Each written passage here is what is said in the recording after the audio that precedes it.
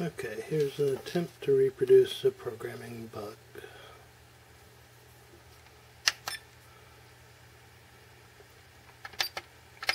I'm going to start with program program 1. Okay, it's for lithium ion now. Uh, I want it to be a discharge routine for nickel metal hydride.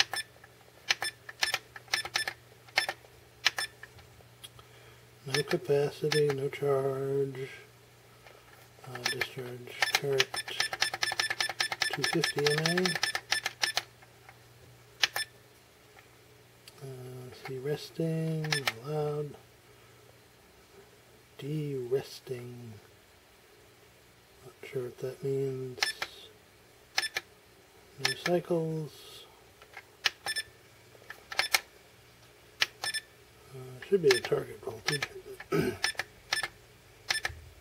Cut voltage, okay. Uh, I'm doing this for an alkaline, so when it's um, call point nine. Actually, I will do a de-reduce. Uh, tell me when it can't hold 100 milliamps.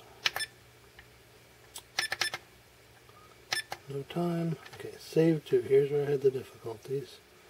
Uh, saved it to 29 last time.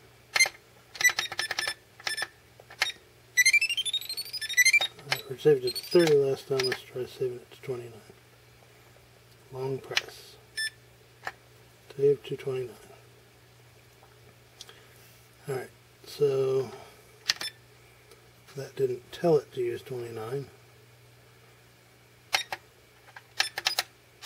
Uh, there we go. That's correct, discharge. So let me use it, because I think that's what I did before. I used it once and then had a problem trying to do it a second time. Stick an alkaline in there. And let's see, to start it,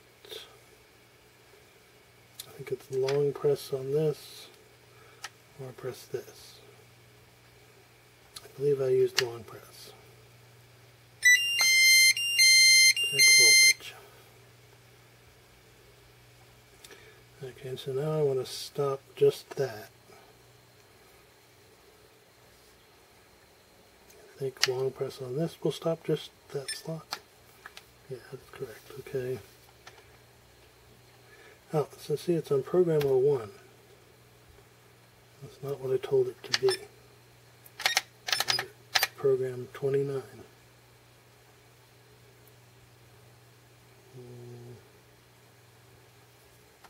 Program 29. Start. Start. Okay, so that's not how you do it. Uh, that's not how you do it. Okay, this is pretty confusing. Um, so this is program 29. This is what I want to run.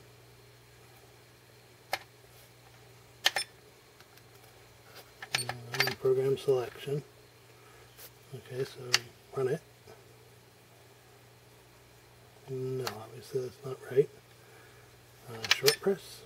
No.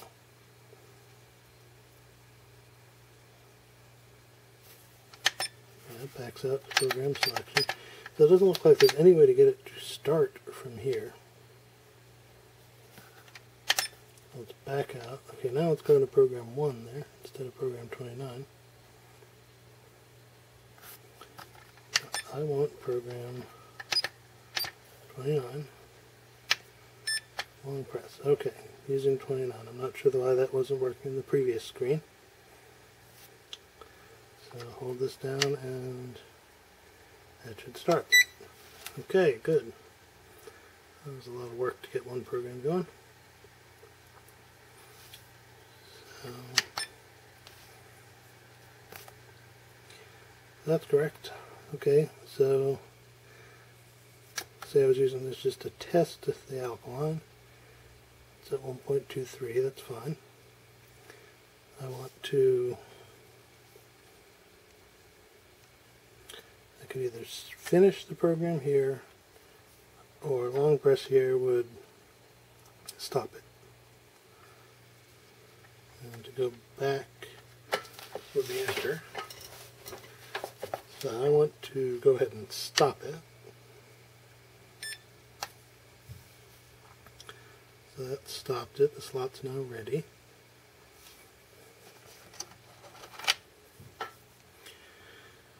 Okay, um, so I'm going to check program 29, see what it is now. Try on slot 2. Um, program 29 still discharged, both of them are. So I've not reproduced the bug.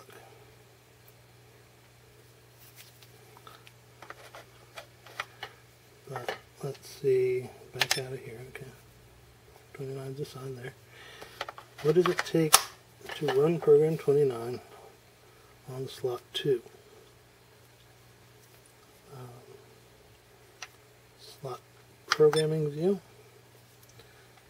I don't want to program, I just want to select. I believe holding down this does not run 29. I need to long press this to get it using 29. And then I could either long press this to start just slot 2 or short press here and that starts everything. These are still running, have been for a while. So that's correct. Instead of finishing this or stopping the slot, let's try finishing slot. And this should require a long press in firmware 1.12. This is firmware 1.11. So green light, it's it's finished but not stopped. I want to go to total overview screen. Stop. Yes. Program slot 2 finished, not stopped. Now to stop slot 2 so I could do something else with it, I would have to long press this would do all of them. Long press this, stop just slot 2. Okay.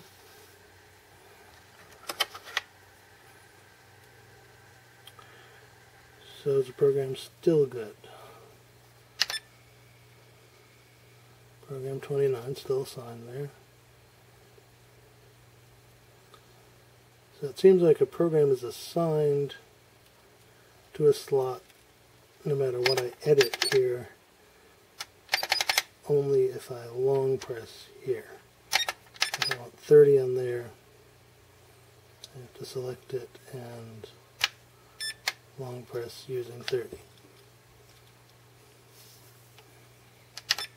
Whereas I might expect that